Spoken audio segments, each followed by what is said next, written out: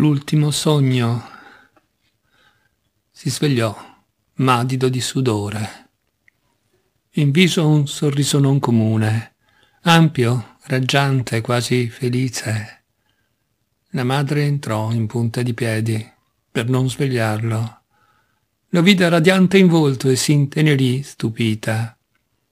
Non ricordava l'ultima volta che lo aveva visto sorridere.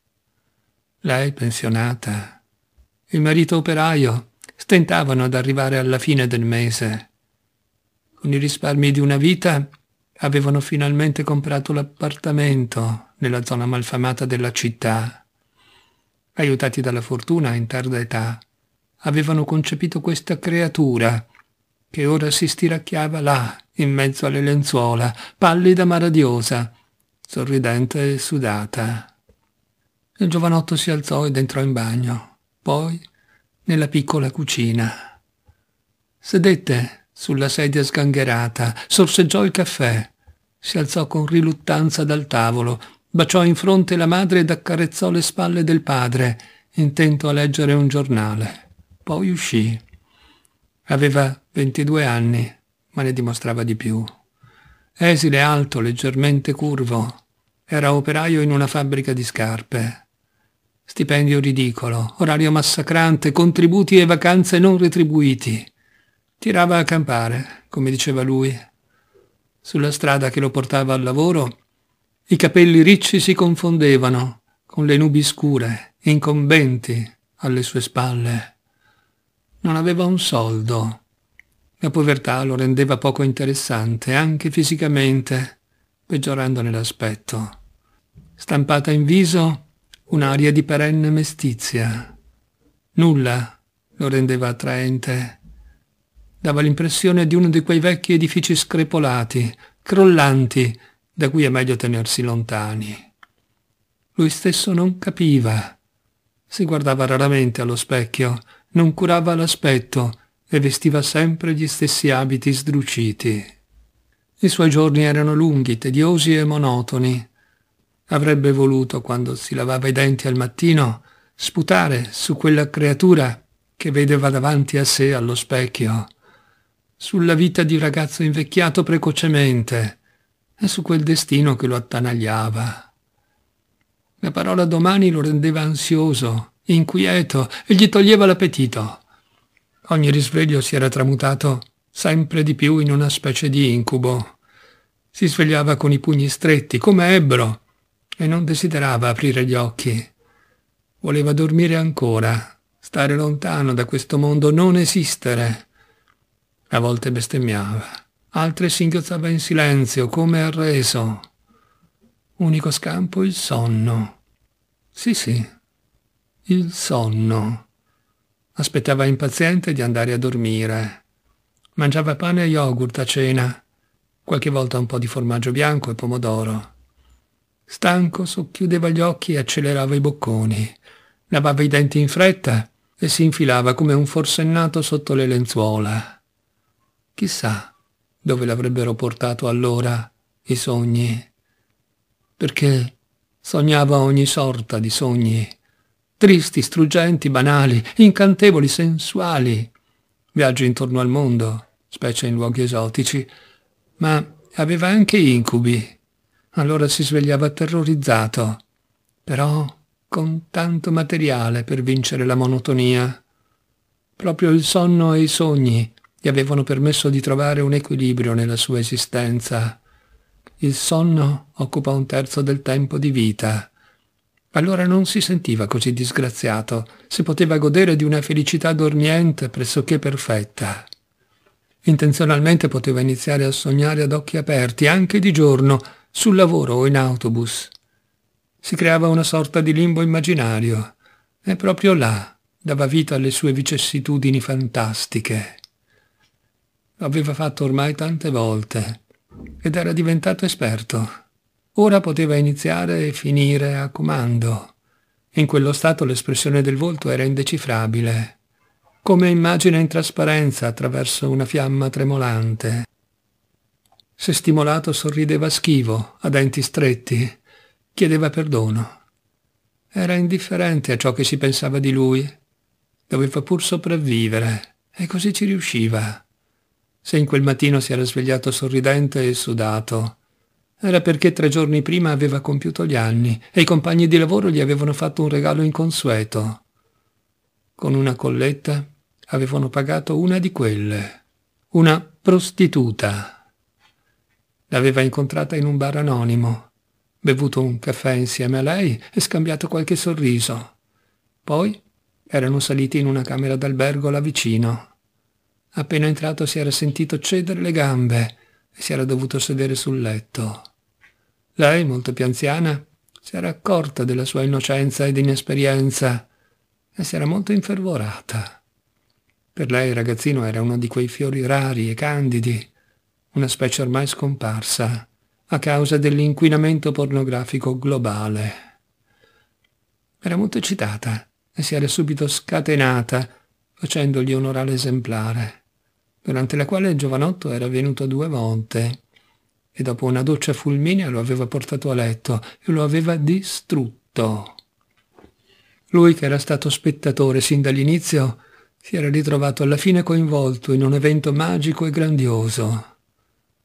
Dalla finestra semiaperta ora i raggi del sole al tramonto giocavano sui loro corpi sudati e nudi, che splendevano di un bagliore dorato. Le sigarette accese ardevano come perle luminose. Il giovinotto non si era mai commosso così. Questa, che non era la prima esperienza, era però diversa dalle altre. Ma la prostituta scomparve dall'albergo e dalla sua vista, dopo averlo baciato in fronte con occhi lacrimevoli. La vita riprese con la monotonia precedente, salvo che nel risveglio, tre giorni dopo, tornava la sensazione di lingua, carnosa, sul suo sesso. Era questo un sogno che aveva in sé qualcosa di reale, basato su fatti realmente accaduti. Sorrideva per la seconda volta. Così sia, che siano di buon auspicio. Il giorno seguente fu stremante, il sudore gli gocciolava sul viso, L'ansia gli faceva stringere i pugni come tenaglie. Non la fatica. Era la monotonia ora che lo distruggeva. La ripetizione della ripetizione ripetuta. Ogni secondo simile al precedente, un essere robotico, scultura bronzea, bagnata dalla pioggia nella piazza dozzinale del disprezzo. Non sapeva immaginare un futuro. Lo allontanava da sé, come mosca fastidiosa ma a sera si sarebbe addormentato e i sogni l'avrebbero portato altrove. Alzò gli occhi e vide l'orologio. Sospirò. Realtà divorante. L'indomani si svegliò, ancora fradicio, sorridente, ma non come il giorno prima. Gli sembrò incredibile. Aveva fatto lo stesso sogno della notte precedente, identico. La madre lo scrutava felice dalla porta semiaperta. Entrò nel bagno. Si tolse le mutande intrise di sperma, una doccia fulminea e di corsa alla colazione spartana, e poi al lavoro. La giornata era fredda, ma il sole splendeva sopra i suoi pensieri.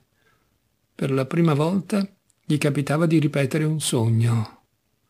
C'era qualcosa di comico.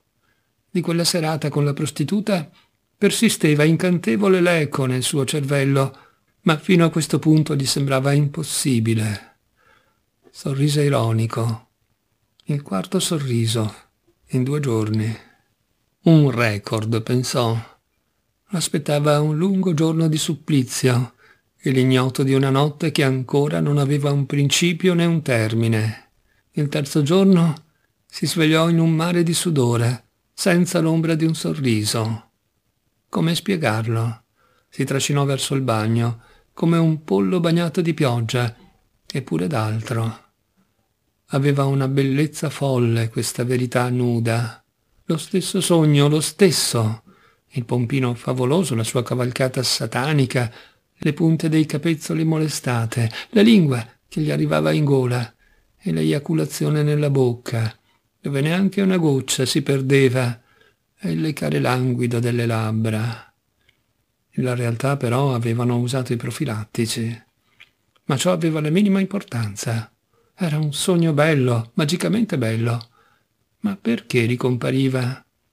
Il viso della prostituta non era particolare, il corpo era spremuto, come bastonato dalla vita, e le mani grezze, da scimmia addomesticata. Allora cosa? Non riusciva a comprendere. Forse stava perdendo il controllo, forse era caduto nel regno del sonno. Passarono dieci giorni, il sogno divenne un incubo, i muscoli prima legnosi al mattino erano piastre di pietra le mascelle dolenti per la contrattura, gli occhi cambiavano colore. Assomigliava a una sfinge, ad una salma impietrita. Anche la voce sembrava distante, metallica. Come prova si era preso un giorno di riposo e con i risparmi aveva pagato una prostituta molto più bella, più giovane, più alta e soprattutto non era rimasto a far da spettatore. L'aveva girata e pompata per ore intere si era veramente divertito tanto. Ciò nonostante, ancora lo stesso risveglio, con lo stesso e ributtante incubo nel petto. Sembrava che i giorni avessero preso il posto delle notti. Tutto diventava ripetitivo. Ma ora poteva prendere un caffè dopo il lavoro, giocare una mano a carte o andare al cinema o al teatro. Ormai solo di notte si rodeva con angustia. Capisci cosa significa fare lo stesso sogno all'infinito? diceva a se stesso. L'eterna scopata della puttana, le stesse mani che ti seviziano i capezzoli, la stessa e unica posizione sottomessa, la stessa pelle arrugginita sulla tua pelle. Soffriva di insonnia con il passare delle notti e si svegliava decine di volte. Prese dei sonniferi. Lo fecero star peggio, moltiplicando l'angoscia assaggiò marijuana e provò una specie di intorpidimento, niente di più. Disperatamente cercò anche di ritrovare la prostituta e di parlarle. Chissà, conoscendola meglio senza idealizzarla, l'avrebbe trasformata in qualcosa di concreto e avrebbe rimosso la causa della sua sofferenza. Ma non riuscì a incontrarla. Se n'era andata, forse per non ritornare mai più. Era entrato in una via senza ritorno i sogni per lui erano tutto. È un ladro di sogni si era insinuato nel cervello, aveva razziato tutto, lasciandogli sul tavolo solo una rosa sciupata, con le forme di una semplice scopata. Si sentiva nudo nell'anima e nel corpo. Una tessera di un domino con banali numeri di solitudine stampati sul suo dorso. E nessuno in questa vita avrebbe richiamato coi dadi i numeri del suo destino mai più. Vedeva chiara un'unica via di scampo. Quella mattina si svegliò di buon'ora. Fece una doccia prolungata, come non aveva mai fatto. Entrò in cucina e sedette al tavolo. Pallido, cadaverico, torvo ma deciso. La madre lo guardava attonita, senza darlo a vedere. Il padre era un'ombra con un giornale. Si vestì, baciò la madre, accarezzò i riccioli del padre ed uscì di casa si diresse verso la fermata dell'autobus, perché sapeva che la madre lo osservava, ma non vi salì. Aspettò le undici, seduto in un caffè, le braccia smagrite, color dell'acciaio, il viso come nube tenebrosa. I genitori uscivano sempre prima di mezzogiorno per la passeggiata. Si avvicinò a casa e vi entrò. Estrasse da sotto il letto, dove era nascosta, una corda nuova di zecca appena comperata il cappio preparato da prima. Spinse il tavolo sotto il lampadario, vi pose sopra una sedia, vi salì, fece un nodo sul gancio cui era appeso il lampadario, lo strappò e lo buttò via. I vetri si frantumarono sul pavimento. Si sistemò il cappio intorno al collo mentre saliva sulla sedia. Si legò i polsi stretti stretti. Era sereno. Era pronto gli occhi aperti. Cominciava a sentire il travaglio. Immaginò un sogno d'occhi aperti, uno di quelli a comando. Era stanco e affaticato, gli occhi gli si chiusero e lui sognò per davvero. Stava sulla cima di una montagna innevata. Indossava un paio di sci coloratissimi che lo accecavano dallo splendore. Si scagliò di sotto, l'aria gelida sul viso sembrò destarlo. Era un altro sogno, un sogno interamente diverso. Urrà! Finalmente! Sorrise, ma era troppo tardi. La sedia tremò e si ruppe sotto i suoi piedi. Barcollò e cadde. Il sogno, a forma di corda, e il sorriso gli rimasero in gola. Era il sesto e ultimo sorriso, il più sincero di tutti. Due volte vero.